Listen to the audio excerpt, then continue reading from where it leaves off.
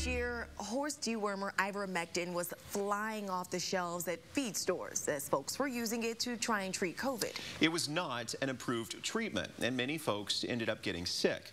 Now, many on social media say a new pill aimed to treat COVID has the same ingredients as that other drug. Evan Koslof verifies.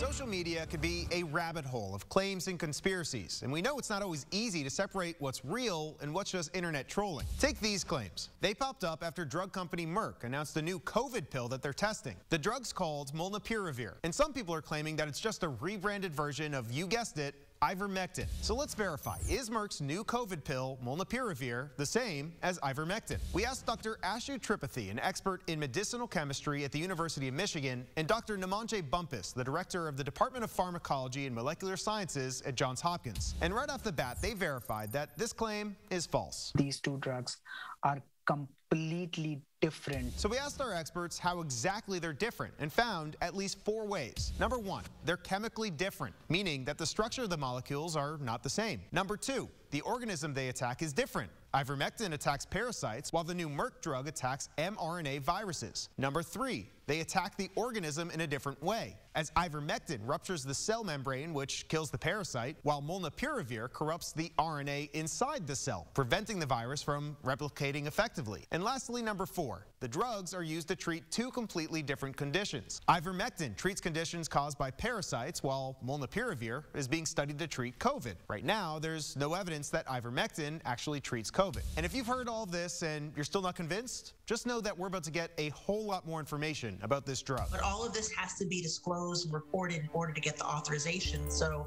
it's really not in the interest of moving this product forward to misrepresent in that way, because certainly any of that would become very obvious with your Verify, I'm Evan Koslof. Alrighty, and if there's anything you'd like us to verify, send a message to our email, verify at 12newsnow.com, or message us on social media.